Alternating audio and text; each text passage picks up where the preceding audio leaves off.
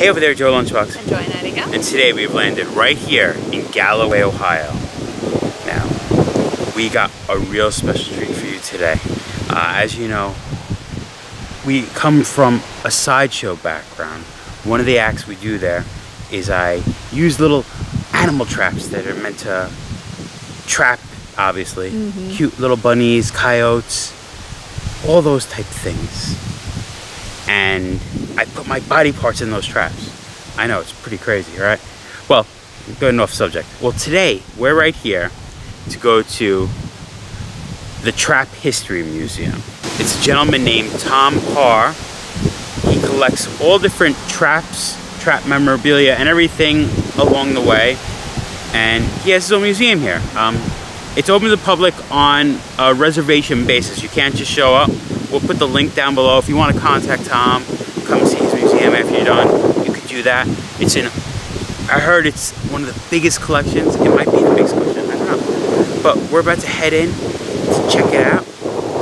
Now, we're gonna give you a little treat. If you stay tuned to the very end, at the very end, we are going to put the pinkest, most sensitive part of my body into an animal. That's a little treat for you. And if you like seeing weird stuff like this, well, not the museum, this is cool stuff. If you like seeing cool stuff like this, let me say, you should like this video, give it a thumbs up, subscribe to our channel, hit, hit the notification bell, you know, comments down below, all, all the good stuff. But I think it's time that we do this. Yes. All right, Trap History Museum. It's, here we go. Step right up. Let's go for this ride.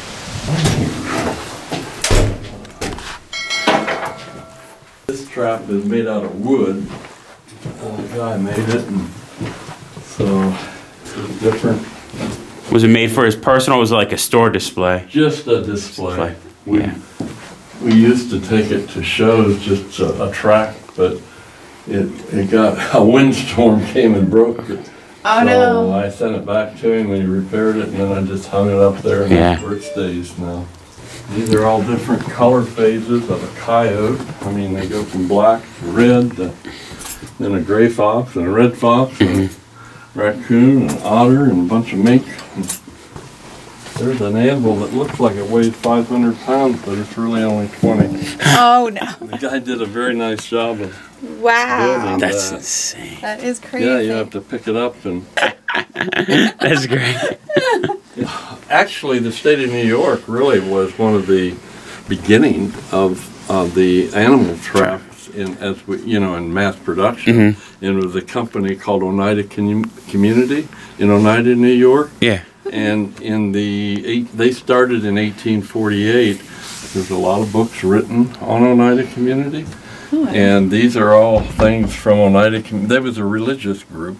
There was 150 of them to begin with and they made some of the best steel traps in the world. They needed a something to keep the community alive, and so that's one uh, one of their members, Sewell Newhouse, was a blacksmith, and so he started making traps. But the other things they did is they made, uh, bu- you know, they canned fruits and vegetables, and they made thread, and but today, you know, them Yeah. as silverware, Yeah. same company. That's crazy. So, but, um, so this room over here is what I call the Newhouse room.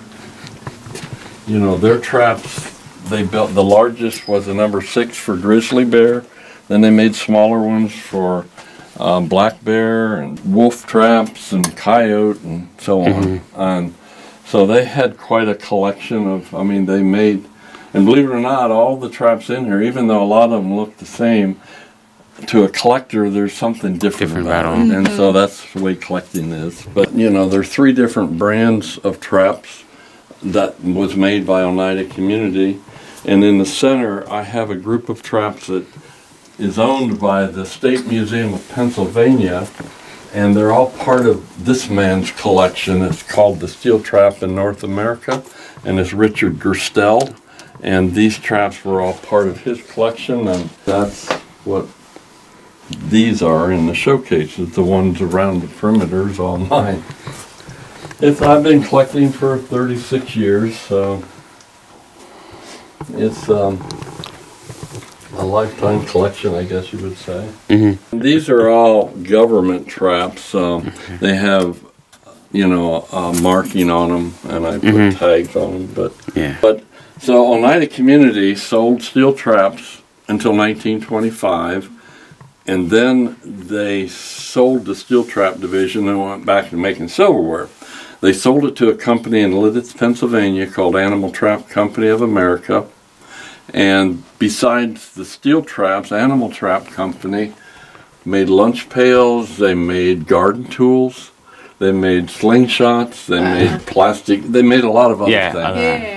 And in 1966, people of the community have of Lititz said, you know what, we don't like the name Animal Trap in our community, let's change it. And so they had a contest and they came up with the name Woodstream, and that's what it's called today. And today, they don't make steel traps any longer, but they make a live, like, Havahart traps. Okay. And they make mouse and rat traps, and that's all they make now Okay. took one trap that was probably the most popular of all the sizes. It's the number one that every all the kids use for trapping muskrats and so on. And so we started the earliest one in 18 probably 86 all the way up to the current one. And so the, and then my office is just I do uh, three magazines. Um, I do one called Traps, which is for trap collectors. Mm-hmm. And then I own a magazine called Trapper's World, which a young lady from Maryland actually is the editor. And then Fur Fish Game is a magazine that's been out for many years. It's here in Columbus. Mhm. And every month I do an article for them on antique traps. So Very I've been doing it since or 2007. So it was a big thing back in the Yeah. day. In the 20s and 30s, every kid trapped, you know. But uh, today is different. And there's, I call that my Picasso. It's 43 skunk Skunk. pelts. Oh wow. But you know, back in the 20s, 1920s and before, a person could make more money catching a skunk than they could a week's wages in a factory. And the reason being, before in those days they called that American sable, and it was a very good fur. I mean, it's the fur is very good quality, but the one that brought four dollars and fifty cents was an all black one with a white spot on his head. That was the best one. So then the FDA said, you know what, you got to call a skunk a skunk. You can't call it a American sable. and then, uh, of course, the fur trade all began with the old beaver hat, Yeah. you know, and this is one of those, and it's just a cardboard frame. And what they did to make the beaver hat is they would take the beaver pelt and they would pluck all of the guard hairs to where it was just down to the felt. Oh. They would rake that off, mix it with chemicals, mercury being one of them, and inject it onto that hat. Well, that's where the Mad Hatter's disease came from. Things that most people don't know is our government from 1933 to 1936 required that every store place a logo such as this in their window. It looks like National Rifle, but that's National Recovery Administration. And for two years, everybody had, they requested them, and if you didn't, um, you would be, you were supposed to be boycotted, the company. And so, like, here's some trapping ones. See the logo? There it is, there it is.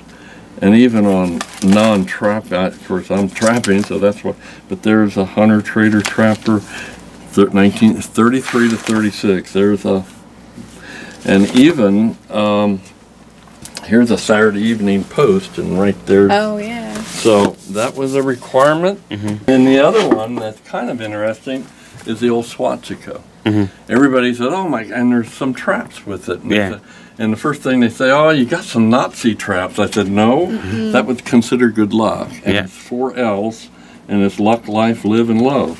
This is an old l- padlock for a barn. Mm-hmm. There it is. Oh. There was a guy by the name of Ernest Thompson Seton, and he didn't get all the credit he deserved. This is 1890s, uh, early 1900s, but he actually started the Boy Scouts, but he never really got the credit that William uh, Powell. yeah, Yeah. Powell. But he was, and then once uh, that all happened, he changed and he developed uh, Birch Bark Roll, which is Woodcraft League. And but anytime you can find a book with his signature Yeah. and his logo is a wolf print, um, those are quite collectible. But and these he wrote, he was a you know this was a Boy Scout book that is that's Indian Sign Language for Boy Scouts, and there's of course one of the first, First ones. Yeah. And he wrote all of these books. And the one that's probably the most famous is this one called Wild Animals I Have Known. Uh, early on, he used to be a big trapper, and then he changed to being an animal lover. Um, Teddy Roosevelt, by this time, called him a nature faker because he, you know, he made these animals like real people. Uh-huh. But again, when you can find with his signature, Yeah. uh, they're quite quite collectible. This uh, room here is what I call the European room, at least part of it. That Mhm. and that's traps from Europe, Australia, and they don't really have too many trapping rights. And I guess you could see why they're kind of big, bulky, gruesome traps. And um, but that's a dingo from Australia, as is this one. And then that's a fox from Australia, and that's called a fur seal. And then this stuff is just a variety of, I like little jeweler anvils, and, and those are all called drags. And out west, they would hook that to the end of the chain of the trap.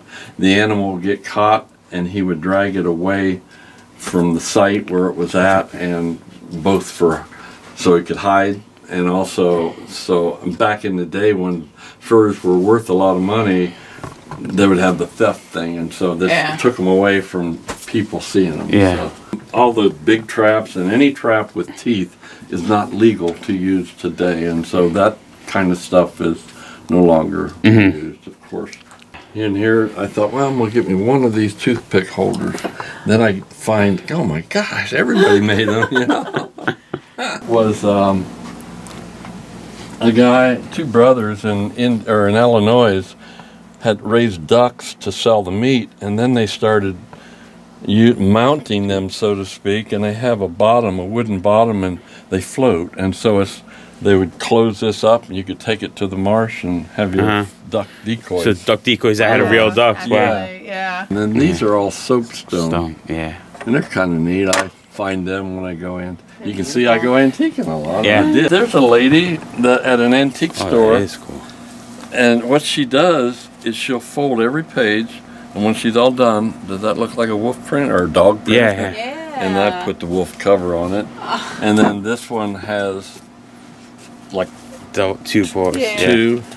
Yeah, and it's funny, uh, they would never, this antique store called Heart of Ohio in Ohio here, um, they would never tell me who she was other than, oh, some old lady that does these. So I seen her at another show and I said, they said you're an old lady. And she said, I don't think so. so I said, how about let me take your picture and put it with my Collection. kind of funny. Then Gene Autry, and the only reason that I have a collection of his stuff is on one of the comic books. He was he holding a trap. Yeah. trap. And the trap company in 1946 was pretty large. There was a lot of Uh, people, yeah. a lot of ladies that worked there, and and it was a big factory. They turned out a lot of traps and trapping memorabilia. And, then these are all just lures um, that's used scent Sense. to Yeah. um, mounts, a wolf from Alaska, and, oh, coyote, a beaver, a cinnamon raccoon, and a possum, and just a whole variety of Mhm. animals there. That there's a, this is a black bear coat and gloves. Is that another? Is that an albino or another cinnamon raccoon? That's kind of an albino. I it's another guy. He said it was an albino, but it looks a lot like the yeah. cinnamon. They just put red eyes. Yeah, I think so. I don't know. That room over there is, um, that's what I call the modern room, even though there's a lot of the traps that are in there is no longer being made. About six companies that make traps. Back in the twenties, there was a, a, over a hundred companies that made steel traps. Never seen those before. Those are called Eclipse, and those were made in the 30s. Just uh, and the principle behind them is you could fold them down and put them in your pack a lot easier. Uh huh. But they didn't really turn out too well. Just this group is this is the mouse and rat traps, and uh, Modern Marvels has been here. Um, a show that was called Sunday Morning with Charles Osgood. They Mhm. was here once on just a mousetrap. I don't know. Just everybody tried to build a better, Better mousetrap, mousetrap, yeah. and that's uh, these are mostly from Europe, and then these are American. It's really hard to beat. These are the rat size, and these are the mouse size. I have a, a friend that was here two months ago from Norway, and he w- was doing a book on mouse traps. And I can't read a doggone thing of it. It's all in Norwegian. But when he was here, he took a picture of the museum and he took a picture of oh, this room with me. So I'm in a Norwegian book. and what it amounts to is when the mouse gets caught, this ball will roll down, the match strikes and lights a candle. and then this one's called the mouse mobile. And so the mouse would get caught, and then he goes back into this chamber and he can roll around the house. this, they tried everything with mouse traps. Okay, Uh-huh. this one is an exploding outhouse. Okay, here we go. and it usually will catch it. It's pretty neat, huh? That is Oh, that is cool. Oh, The The Victor. Victor. Yeah. I love the varieties of them over the years. oh Yeah. yeah, there is so many different Joy. ones. See Mickey Mouse? He's yeah, in? Mickey Mouse. Um, there's there's one Bigfoot. that red one. Uh huh. That was Bing Crosby's. There he is. Um, and then there's of course poisons and oh my gosh, there's Mm-hmm. yeah, there were some neat names on some of them. Knock 'em stiff, Nah.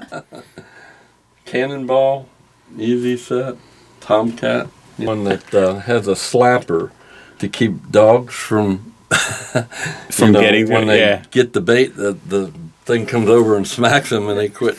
I guess I don't know. It's cute. I love this little house here with his little wheel. Once he gets caught in that Yeah. one. yeah, I'm not sure. Yeah, that one. Uh, has You want to keep it as a pet? Yeah. yeah. And here is um, this one is called the. Uh, you know, they get caught and then they They can exercise while they exercise or whatever. A bunch of poisons. Poisons, yeah. I love the What? look of some of those with The, like, oh, the old the sprays old ones with the bottles. glass Oh, jars. yeah, See the is a green glass and The glass jars are crazy on They're some. Uh, beautiful with the glass jars. I love in the back in the case you had a wolfing license. Oh yeah. Let me. I gotta show you. Those aren't That really. any- was great. Yeah, it's nothing to do with trapping. During the war, at the POs or the, you know, they would actually, uh, if you was a guy, you know, you, I mean, they had male and female, and what it did is it allowed you to whistle at the Yeah. opposite sex. How about that? And then I've got something else here that, here is a chastity belt. These were used during World War One, and the guy would take the key. Can you imagine putting your lady in one of those? Polish didn't want to have anything over on them, so they came up with their own chastity belt. You ready for this one? Ta-da! It's a mousetrap. they even made a lot of miniature traps, and there's different ones that, like this, these little guys, and then there's even smaller ones like that. Oh, what are these coyote getters? Those were made for out west. They're illegal to use today.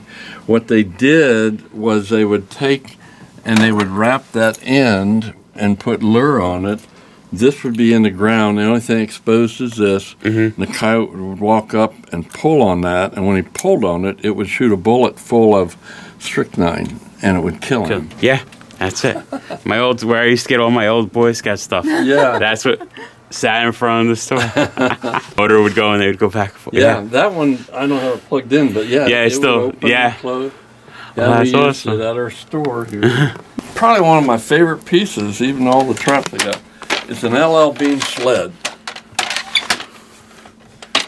Pretty neat. Yeah. Wow. And it just opens up It's up. and Blocks it. Closes Yeah, a little toboggan. It's quite a little, it's all hidden now, but a lot of Boy Scout stuff. That's awesome. Oh, wow. But uh, yeah, it's That's awesome. then there's over here is a really neat um, picture of Boy Scout, but this is all the merit badges. That is cool. yeah, the teddy bear. Interesting story about that one. hmm It's interesting with this one. It's got a little two-minute thing. Hi, I'm Teddy's Teddy. Would you like to know how we got the name Teddy Bear? Well, I'll tell you. The year was 1902, and America's beloved president, Theodore Roosevelt, was on a hunting trip. President Roosevelt was renowned for his hunting skills, but on this particular day, there was no luck to be had. The president's hunting party, fearing his disappointment, captured a little bear cub and tied it to a tree. The president was then called upon to shoot the bear, but with the heart of a true hunter, President Roosevelt refused and ordered the bear set free. Clifford Berryman, a cartoonist for the Washington Post, captured the moment with a wonderful illustration titled Drawing the Line in Mississippi. Seeing the cartoon, a New York store owner, Morris Michtom, and his wife decided to make bears to sell in their shop. Morris wrote a letter to President Roosevelt asking permission to name his new bear Teddy. The president gave his consent. Him And then his family ended up bringing it here on a flatbed, and there's been ever since. So Wow. it weighs 4,000 pounds. It would not set because the, the metal is all hollow. Watch that thing right there. Closed. So we're getting so much wind. Branches are breaking off. Starting to be build fixed lights and signs and stuff on trees, fire trucks. And um, we rebuilt this old log cabin. It was a two-story house.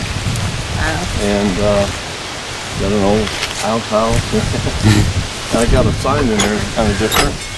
No dunking allowed.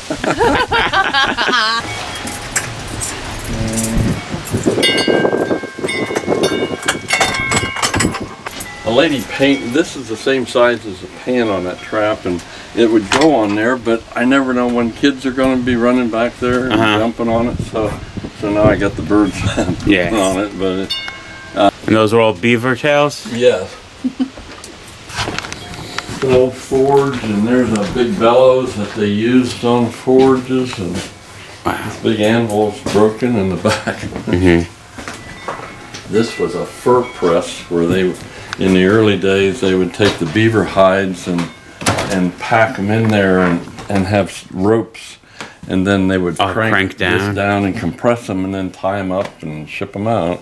Little live beaver trap and boards that we used to put the coyotes and the beaver and well, well the beavers is a big round board. Everything is put up what they call cased, which is like this. This is a coyote that's been tanned, but it's you know, and it would start out on the fur side or the pelt side out to dry it, and then the fur buyer wants to see the fur, so that's the way. It, but this is one that's been tanned. Uh, that, but they're called cased, and then uh, but the beaver is put up on a hoop or on a board To stretch it out. Yeah, it's just oval shaped, and you tack it on the board. So that was pretty amazing. One, his collection is amazing. Two, knowledge. Yeah. Three, anyone that lets people into his, I call it like his man cave, his private museum, makes me so happy. Four, he gave me traps. Like, I was not expecting to get stuff from the trap museum. I was expecting to look at them. That I walked And away, learn. yeah, and learn. That I walked away with Mickey Mouse traps and a trap that was used as a demo to stick your hand in. That is so cool. Yeah. This was amazing. Tom was incredible. This has to be one of my favorite like private museums I've ever been to. I love this so much. Now, I think we could call it, right, Joy? Wait, What? But you said at the beginning this is a surprise. Oh, you're gonna keep me to that? Well, All right, all right. Do we do we have a mousetrap with us? Let me let me check. Uh, we do. You get to hold this now.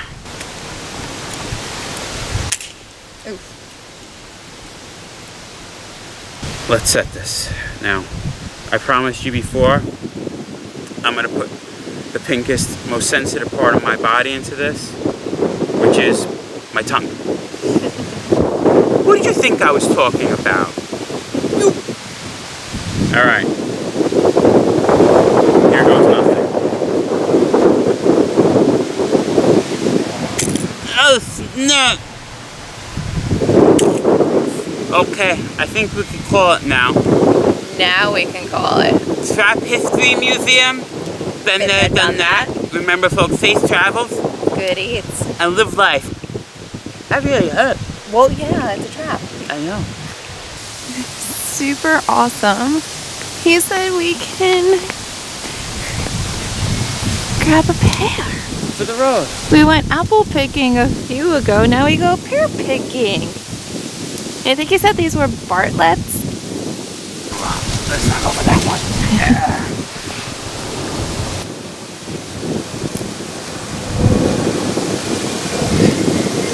That looks like a good solid pair right there. Cool. And then there's